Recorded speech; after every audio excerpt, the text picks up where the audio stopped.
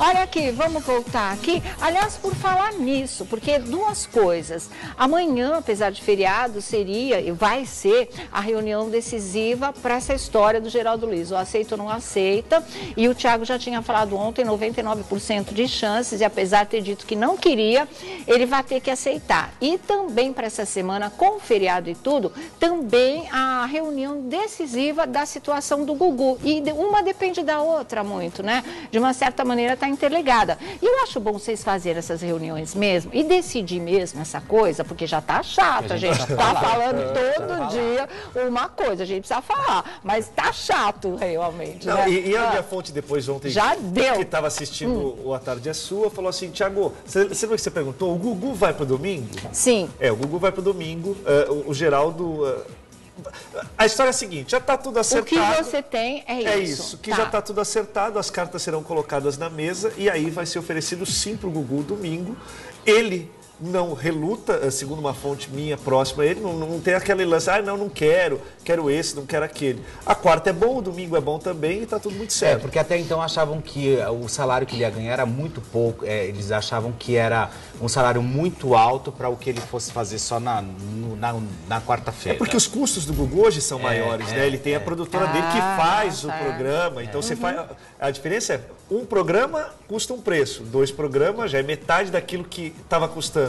E essa é a matemática, porque a equipe de produção está lá, a equipe técnica está lá, é tudo por conta da produtora do Gugu. É uma parceria. Então, quanto mais programas você faz, menos custoso fica para ambas as partes. né? Exatamente. E a gente sabe que o Gugu é um dos maiores salários da TV brasileira. né? Sempre foi. Bom, então vamos aguentar. Dessa semana acho que não vai passar. Semana que vem acho que a gente vira o disco. Ô, Gugu! Pelo amor de Deus, gente, decide logo essa tá ar, história, já né? Tá, já tá no ar, ó, já tá na hora, Ah, né, já resolver, tá, pelo né? amor de Deus, cada hora é uma Chega. coisa, isso, aquilo chega, decide, semana que vem a E gente o Gugu tem que ficar no e pronto. domingo. O cara do Gugu é domingo, não E adianta. com a banheira, Gugu? Banheira, labirinto Não vão deixar na banheira, não vão deixar.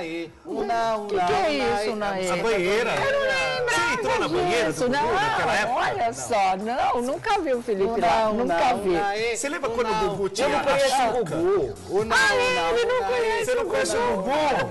Ô, Gugu! Não, não, olha o Gugu e o Geraldo Luiz aí. Gente, olha, daqui a pouco nós vamos falar sobre a Sabrina. Como apresentadora de programas de final de semana, ela é a mulher de maior audiência. Você viu onde a Sabrina chegou? Que coisa boa.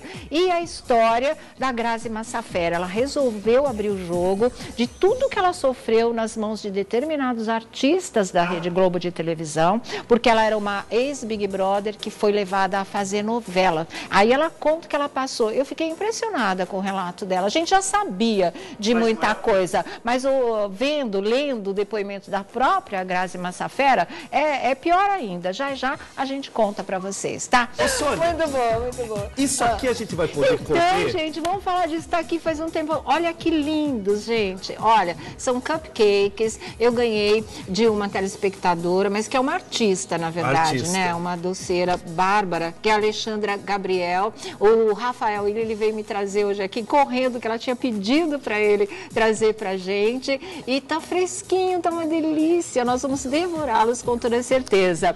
E a- o que eu achei legal também, obrigada, viu, Alexandra? Ela fez com o logo da Tarde é Sua, olha só. Que Olha. bárbaro, né? Ficou muito legal esse cupcake. Ela fez um outro também, no outro ela colocou uma florzinha. Olha que lindo, gente. E tem o da rosinha com pérola, tem o da rosa todo. Eles Esse- são mas esse aí tira pra comer, né? lindos. Esses aqui todos nós vamos comer, né? Não, mas isso aqui Como? tira aqui.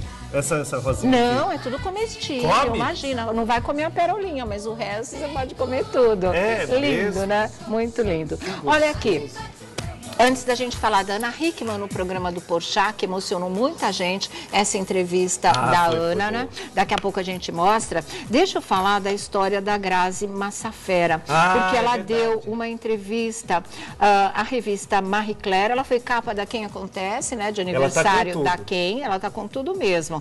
Aí do prêmio Emmy, aquela coisa toda. E ela deu uma entrevista para a edição da Marie Claire, onde ela fala do bullying no Projac. Que está até aqui comigo, vamos ver se dá para gente Olha ler juntos. linda, Olha, gente. linda essa foto, né? Ela tá como a garota de programa Luciane. Olha aqui, bullying do Projac, essa é uma das páginas da revista Marie Claire. Então ela- a Grazi diz assim, olha, tá entre aspas. Estou há 10 anos fazendo novelas e às vezes em cena eu reencontro atores que tentaram puxar o meu tapete Ixi. quando eu comecei. Isso é tão difícil. Em minha primeira cena de choro, que foi em Páginas da Vida, isso em 2006, uma colega de elenco ficou atrás do câmera, me encarou e sussurrou: Você não vai conseguir. Olha, só aí. a maldade.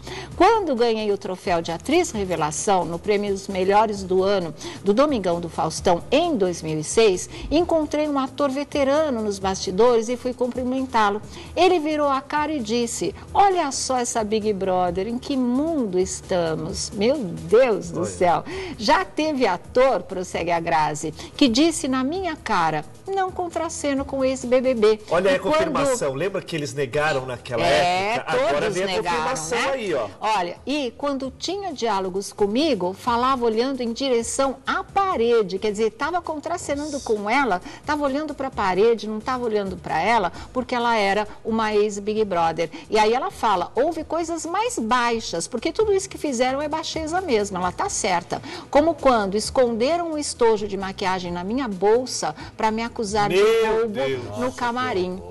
Olha, isso me lembrou da história da Lucy Ramos. Sim, lembra, lembra? na novela? Lembra. Ela morreu dizendo que ela não tinha pego 50 reais do armário da Cristiane Tolone. Ela morreu dizendo isso. E E, quem vai falar agora, ela não teve, né? Ah, e assim, quem vai poder dizer agora, ah, não ter dúvida que ela mesma tivesse dizendo a verdade? Porque se aprontaram com, Com a a Grazi, Grazi. podem muito bem ter aprontado. A Lucy Mafra, não é a Lucy Lucy Mafra. Ramos, a Lucy Mafra. Isso. Exatamente. Quem é que, sabe, que aprontou com a Lucy Mafra e aprontou com a Grazi? Quer dizer, tem alguém lá que faz esse tipo de coisa. Ou tem várias pessoas que fazem esse tipo de coisa. Então ela abre o jogo mesmo. Coisas mais baixas, como quando esconderam um estojo de maquiagem na minha bolsa para me acusar de roubo no camarim. Uma vez encontrei um boneco preto horrível, pintado com tinta vermelha Eita! e todo espetado, um voodoo mesmo no meu carro. Só eu sei o que passei. Sou uma sobrevivente, diz a Grazi Massafera. A, a foto da matéria certo, é essa né? aqui. Não, agora todo mundo certo. teve Ah, mas que... olha, segurar uma onda dessa. Não é fácil, não né, contracenar, gente? o povo ignorar você. Aí depois você vai lá, pra... falam que você é ladra. Depois Ó. vem o voodoo. Deus do Deus céu. me livre. Você vai cumprimentar. Aqui a manchete, ó. Sobe para a manchete aqui. Essa é a página da matéria. Grazi Massafera revela ter sofrido bullying nos bastidores das novelas. Sou uma sobrevivente. Uma sobrevivente, olha aqui, indicada ao Emmy Internacional de Melhor Atriz. E de volta às novelas em A Lei do Amor, a atriz fez um balanço de seus 10 anos de carreira e deu detalhes das dificuldades enfrentadas para se firmar na profissão. Aqui ela diz: encontrei um voodoo no meu carro. Tem um trecho da entrevista que ela fala que ela faz terapia, né? E é uma coisa importante para quem passa por bullying na vida. coisa? E ela passou mesmo, Eu tenho de uma verdade. intuição que a Grazi vai fazer carreira internacional. Mas ela tem tipo para isso, né? É, ela tem, tem, uma coisa ela assim que tem. eu acho que essa moça vai fazer. Mulherão, né? Aquela Mas coisa não de. vai muito longe não, Grazi, porque o Thiago e eu nós começamos juntos e o que a gente já passou também não é boninho, viu, querida? É, tá Não aqui, vai ó. muito Mas é longe, que todo não. mundo vê o glamour da fama e esquece o bastidor. Porque você sabia Olha que tinham só, feito tudo isso pra ela? A gente sabia quem é essa atriz que ficou atrás da câmera na primeira cena de choro da Grazi,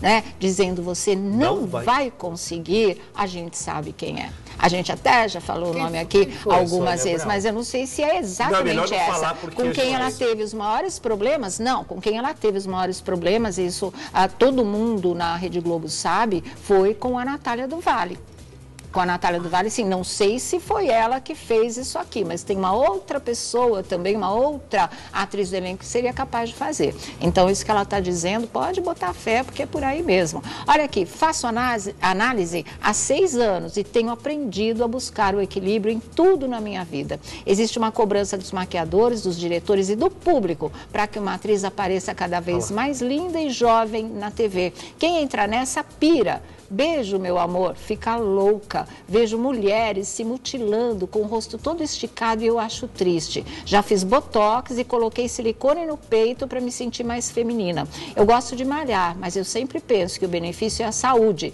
e o presentinho é a estética. Algumas atrizes dizem que querem morrer velhinhas no palco, eu não. Nos próximos 10 anos, eu pretendo diminuir meu ritmo e ir parando de atuar aos poucos. Fui indicada ao Emmy Internacional, mas nunca sonhei em ter uma carreira lá fora. Nem falo inglês e adoro chegar ao exterior e não ser reconhecida. São alguns dos trechos da entrevista da Grazi Massafera na revista Marie Claire. Ela aparece pé Só no chão uma mesmo, né?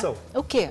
É, adoro ir para o exterior e não ser reconhecida. Pô, você hum. batalhou para ter uma carreira. Você foi para o Big Brother não foi para ah, participar na prova assim, do bambolê com o, Bial. O, o, peso da fama, uh, às vezes parece uma prisão para você. Mas Eu já é. vi isso de muita gente falar, né? O Silvio Santos antes, quando o mundo não era tão pequeno como hoje, ele amava ir para os Estados Unidos justamente porque lá ele não era reconhecido. Você se sente livre, né? De um tipo de assédio que às vezes pesa, que é o que o artista mais busca, é ser conhecido e querido e amado e respeitado pelo público. Mas tem uma hora que isso pesa. Toda moeda tem dois lados. Então, acho que para ela que passou por tanta coisa pesada, de repente ela viajar e não ter ninguém, ela se desligar desse mundo, pode ser uma folga. Mas, por Grazi, enquanto. Eu já respeitava hum. seu trabalho. Depois que você foi franca nessa entrevista para Marie Claire, agora a gente tem que respeitar ainda mais. Claro. Porque, de fato, como você falou, você é uma sobrevivente de muitas puxadas de tapete que tentaram. Nossa, e, que coisa, coisa pesada, ela, né? E ela só mostrou que ela só mostrou através do trabalho e do talento, porque ela não é canastrona. É isso aí. Ela Imagina. não é canastrona, ela, ela é... mostra através de muito talento. Ela é, é uma atriz de verdade. E agora quem fez tudo isso, né,